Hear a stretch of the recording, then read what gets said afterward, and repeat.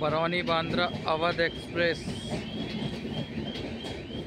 one nine zero three seven जो कि बरौनी से बांद्रा के लिए जा रही है।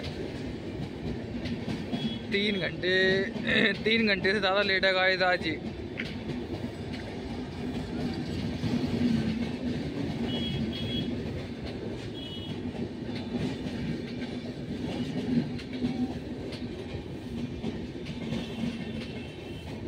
बरौनी बांद्रा अवध एक्सप्रेस।